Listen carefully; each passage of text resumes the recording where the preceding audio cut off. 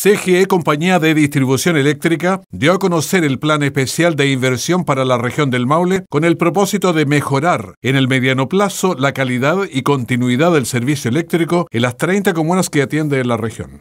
El despliegue de recursos que tiene esta empresa distribuidora que lo hizo en función de la instrucción que le dio la superintendencia para mejorar los indicadores de, continuidad de suministro en la región, permiten desplegar recursos y desplegar actividades que apuntan a reducir la cantidad de horas de interrupción de suministro que hay en la región. Así que es súper importante este, este lanzamiento, pero es en respuesta a un trabajo que ya se viene haciendo hace más de un año en la región. El plan Maule, que ya comenzó a ejecutarse en enero, contempla, entre otras acciones, sumar 107 nuevas brigadas, lo que permitirá duplicar la capacidad de atención de CGE en Maule.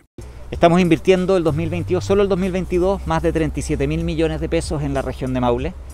Eh, el 2023 este plan va a seguir, eh, eh, ese monto todavía no está definido, pero hoy día lo que tenemos son más de 37 mil millones de pesos para invertir en la región de Maule.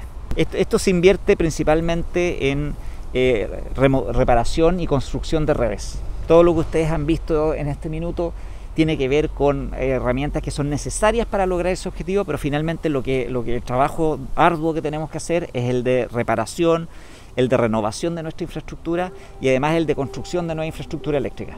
Esta mayor capacidad se destinará a la atención de emergencias eléctricas, renovación de instalaciones como al cambio de cableado, postes y otras estructuras eléctricas.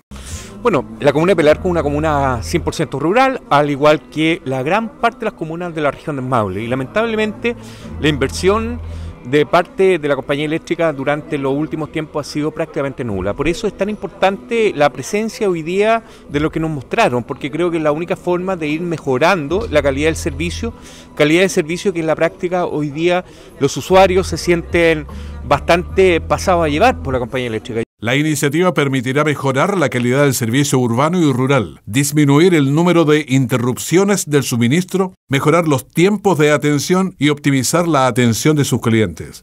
El Plan Maule demanda recursos por más de 37 mil millones de pesos durante este 2022.